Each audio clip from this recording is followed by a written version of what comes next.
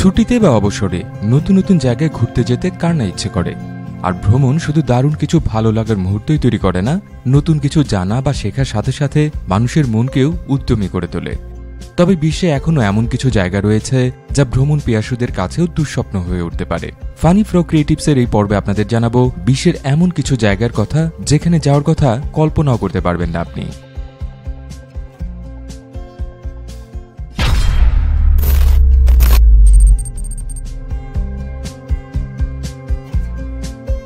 জ্যানাকিল মরুভূমি। উত্তর পূর্ব ইথিওপিয়া, দক্ষিণ ইরিত্রিয়া এবং উত্তর পশ্চিম জিবুতির মাঝে অবস্থিত এই মরুভূমি। এর আয়তন এক লাখ ছত্রিশ হাজার নশো ছাপ্পান্ন বর্গ কিলোমিটার। তবে অন্যান্য মরুভূমির তুলনায় এটি ব্যতিক্রম বেশ কয়েকটি কারণে। প্রথমত, বিশ্বের সবচেয়ে নিচু অঞ্চলগুলোর মধ্যে এটি অন্যতম। সমুদ্রপৃষ্ঠ থেকে প্রায় একশো ষোলো মিটার বা তিনশো একাশি ফুট নিচে রয়েছে এই মরুভূমিটি। মূলত হাজার হাজার বছর আগে এটি ছিল সমুদ্রেরই অংশ। যে কারণে বর্তমানে মরুভূমিতে রয়েছে পুরো লবণের আস্তরণ। কোথাও কোথাও এই লবণের আস্তর আটশো মিটার বা ছাব্বিশশো ফুট পুরু।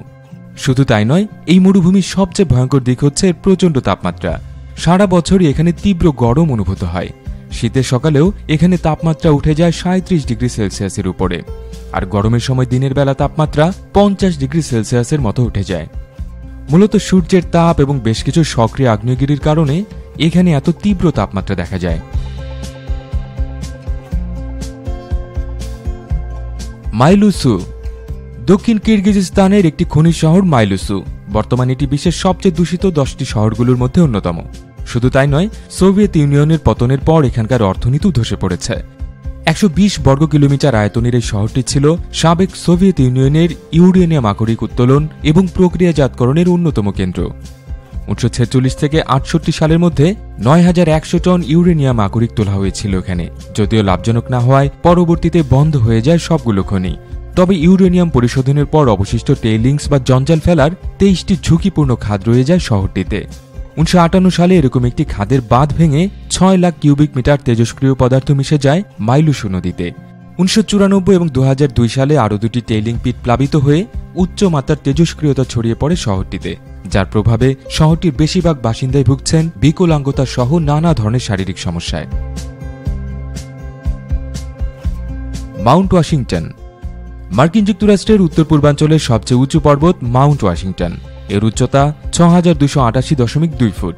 তবে এই পর্বতটি কুখ্যাত, মূলত এখানে সারা বছর ধরে বয়ে যাওয়া তীব্র বাতাসের কারণে। অবিশ্বাস্য মনে হলেও এখানে বাতাসের তীব্রতা সেকেন্ডে উনত্রিশ মিটার পর্যন্ত পৌঁছে যায়। আর এর প্রচণ্ডতা কেমন তা বোঝার জন্য জেনে রাখুন সেকেন্ডে ১৩ মিটার বাতাসের ছাপটায় গাছপালা ভীষণভাবে দুলতে থাকে। আর তা যখন সেকেন্ডে আঠারো মিটারে পৌঁছায়, তা শক্ত বেড়া বা মাঝারি গাছকেও ভেঙে ফেলতে পারে। আর সেকেন্ডে পঁচিশ মিটার বাতাসের ছাপটায় কাঠের তৈরি বাড়িঘর বা বড় গাছও খড়কুচোর মতো উড়ে যেতে পারে। তো বুঝতে পারছেন, মাউন্ট ওয়াশিংটনের বাতাসের তীব্রতা কোন মাত্রায় পৌঁছাতে পারে? যদিও কখনো কখনো সেকেন্ডে আটত্রিশ মিটার গতিতেও ঝড়ো বাতাস বয়ে যায় এখানে। উনিশশো চৌত্রিশ সালের বারো এপ্রিল এখানে ঝড়ো বাতাস বয়ে গিয়েছিল, ঘন্টায় তিনশো বাহাত্তর কিলোমিটার গতিতে, যা উনিশশো ছিয়ানব্বই সাল পর্যন্ত সবচেয়ে তীব্র গতির বাতাস হিসেবে করেছিল বিশ্ব রেকর্ড। শুধু ঝড়ো বাতাসই নয়, প্রচণ্ড ঠান্ডাও এই জায়গাটিকে কুখ্যাত করে তুলেছে। যে কারণে মাউন্ট ওয়াশিংটনের নামই হয়ে গেছে, home of the world's worst weather.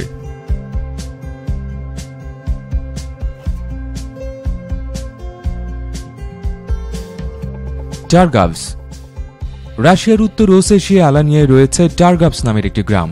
আর এই গ্রামের সীমানাতে রয়েছে বিশ্বের অন্যতম ভুতুরে এবং ভয়ঙ্কর একটি জায়গা, যার নাম সিটি অব দ্য ডেড। এটি মূলত একটি সমাধি ক্ষেত্র এবং গোটা জায়গায় ছড়িয়ে রয়েছে ছোট, বড়, নিরানব্বইটি ক্রিপ্ট বা সমাধিগৃহ। পাথরের তৈরি এসব সমাধিগৃহের কোনো কোনোটি দুই থেকে চারতলা সমান উঁচু। স্থানীয় অ্যালানিয়ান গোত্রের মানুষরা মৃতদেহ সমাহিত করার জন্য ব্যবহার করত এসব ক্রিপ্ট। অনেকের মতে, সবচেয়ে পুরনো সমাধিটি বারো শতকে তৈরি করা হয়েছিল।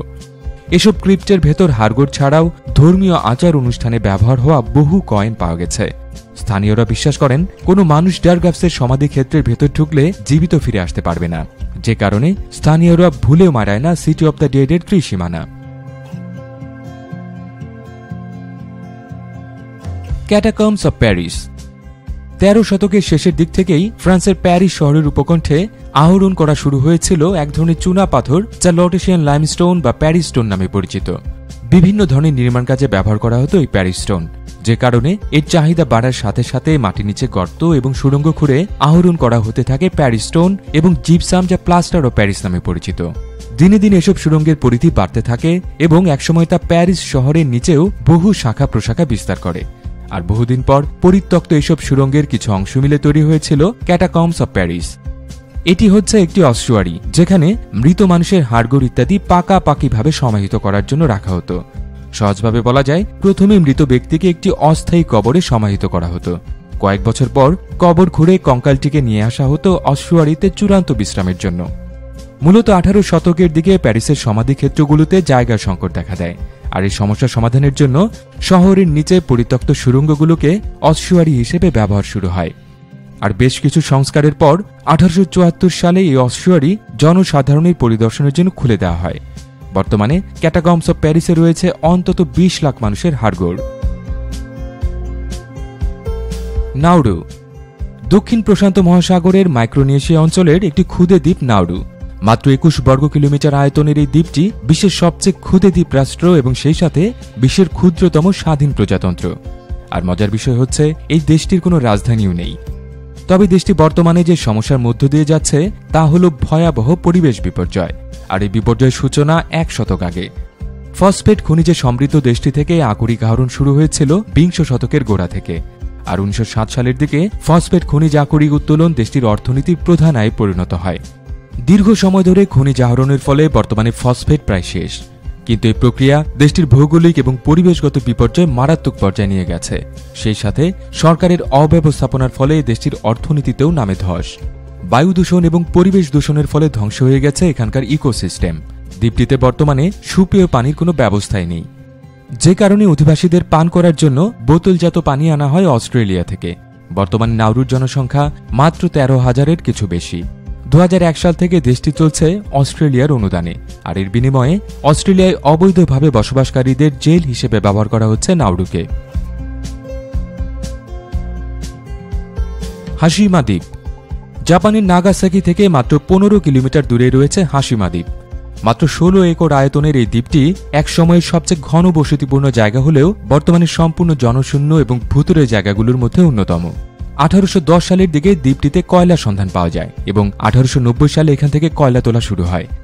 ঝড়ের হাত থেকে বাঁচার জন্য দ্বীপের চারদিকে কংক্রিটের দেয়াল তুলে দেওয়ার পর দ্বীপের আয়তনও বেড়ে যায়। প্রায় এক কিলোমিটার গভীর চারটি মাইনশ্যাফট থেকে আঠারোশো একানব্বই থেকে উনিশশো চুয়াত্তর সাল পর্যন্ত পনেরো দশমিক সাত মিলিয়ন টন কয়লা তোলা হয়েছিল। শ্রমিকদের আবাসনের জন্য উনিশশো সালে সাত তলা বিশিষ্ট কংক্রিটের দালান তৈরি করা হয়েছিল। পরবর্তী পঞ্চান্ন বছরে আরও অনেক বিল্ডিং তৈরি হতে থাকে এখানে। শ্রমিক এবং তাদের পরিবারের জন্য তৈরি হয় স্কুল, হাসপাতাল, town hall, community centre, cinema hall, swimming pool এবং বহু দোকানপাট। উনিশশো উনষাট সালে দ্বীপটির জনসংখ্যা পৌঁছায় পাঁচ হাজার দুশো উনষাট জনে। এতে করে বিশ্বের সবচেয়ে ঘন বসতিপূর্ণ শহরগুলোর একটিতে পরিণত হয় হাসিমা। তবে উনিশশো ষাট সালে কয়লার পরিবর্তে পেট্রোলিয়ামের ব্যবহার শুরু হলে দেশটির কয়লা খনিগুলো বন্ধ হয়ে যেতে থাকে। উনিশশো চুয়াত্তর সালের জানুয়ারিতে বন্ধ করে দেয়া হয় হাসিমার কয়লা খনি। আর এপ্রিলের মধ্যেই পুরোপুরি জনশূন্য হয়ে পড়ে গোটা শহর। প্রিপিয়াট ইউক্রেনের প্রিপিয়াট শহর। পরিত্যক্ত শহরগুলোর মধ্যে এই শহরের কাহিনীটি একটু চমকপ্রদ। উনিশশো ছিয়াশি সালের ছাব্বিশ এপ্রিল প্রিপিয়াট শহর থেকে মাত্র কয়েক কিলোমিটার দূরে চেরনোবিল পারমাণবিক বিদ্যুৎ কেন্দ্রে বিস্ফোরণের ফলে ছড়িয়ে পড়েছিল মারাত্মক তেজস্ক্রিয়তা, যে কারণে সাতাশ এপ্রিল জরুরিভাবে খালি করে দেওয়া হয় শহরটি। সেই সাথে সদ্য নির্মিত প্রিপিয়াট অ্যামিউজমেন্ট পার্ক উদ্বোধনের আগে বন্ধ করে দিতে হয়েছিল। তবে ত্রিশ বছরের বেশি সময় ধরে নিশ্চল পড়ে থাকা পার্কটিকে গ্রাস করে নিয়েছে জঙ্গল। তবে জঙ্গলের মধ্যে কোনো রকমে দাঁড়িয়ে আছে জরুরিভাবে খালি করে দেয়া ঘর, বাড়ি, স্কুল, হাসপাতাল সহ বহু স্থাপনা। Waverly Hills Sanatorium. মার্কিন যুক্তরাষ্ট্রের পরিত্যক্ত স্থাপনাগুলোর মধ্যে ওয়েভারলি হিলস স্যানাটোরিয়াম অন্যতম। দেশটির কেন্টাকি অঙ্গরাজ্যের জেফারসন কাউন্টিতে রয়েছে এই পরিত্যক্ত এবং ভুতুরে স্যানাটোরিয়ামটি। বিংশ শতকের গোড়ার দিকে জেফারসন কাউন্টিতে যক্ষারক মহামারীর মতো ছড়িয়ে পড়েছিল এবং বহু মানুষের মৃত্যু হয়েছিল এই রোগে। উনিশশো এগারো সালে যক্ষায় আক্রান্তদের চিকিৎসা এবং পুনর্বাসনের জন্য তৈরি করা হয়েছিল কাঠের তৈরি দ্বিতল একটি স্যানাটোরিয়াম। পরবর্তীতে রোগীর চাপ সামলানোর জন্য বিল্ডিংটিতে আরও তিন তলা যোগ করা হয়। উনিশশো সালের সতেরো অক্টোবর থেকে চারশো সজ্জার স্যানিটোরিয়ামটি পরিচালিত হতে থাকে। তবে উনিশশো তেতাল্লিশ সালে যক্ষা রোগের অ্যান্টিবায়োটিক আবিষ্কারের পর থেকে স্যানিটোরিয়ামটির প্রয়োজনীয়তাও ফুরিয়ে যায়। উনিশশো একষট্টি সালে বন্ধই হয়ে যায় স্যানিটোরিয়ামটি। তবে উনিশশো বাষট্টি সালে বয়োবৃদ্ধদের জন্য নার্সিং হোম হিসেবে ফের চালু হয় ওয়েভারলি হিলস। কিন্তু দুর্বল ব্যবস্থাপনার কারণে উনিশশো বিরাশি সালে বন্ধ করে দেয়া হয় নার্সিং হোমটিও। এরপর বিল্ডিংটিকে কারাগারে রূপান্তরের চেষ্টা করা হলেও তা ভেস্তে যায়। বর্তমানে পরিত্যক্ত এবং জীর্ণ ওয়েভারলি হিলস স্যানাটোরিয়াম কোনো রকমে দাঁড়িয়ে আছে বহু মৃত্যুর সাক্ষী হয়ে।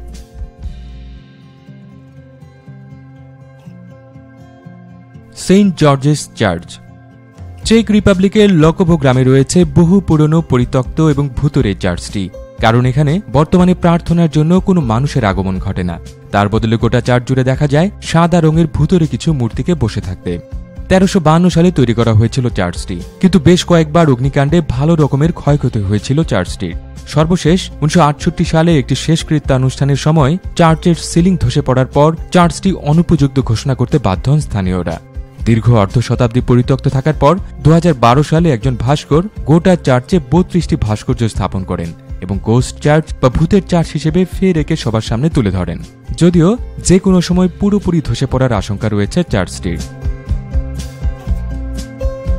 চোখ ধাঁধানো যুগান্তকারী সব উদ্ভাবন বা বাজারে আসা নতুন প্রযুক্তি পণ্য বিস্ময়কর গ্যাজেট এবং আগামী দিনের প্রযুক্তি সম্পর্কে জানতে সাবস্ক্রাইব করুন আমার নতুন চ্যানেল টেক বাউন্ড লিঙ্কের জন্য ভিডিও ডেসক্রিপশন দেখুন।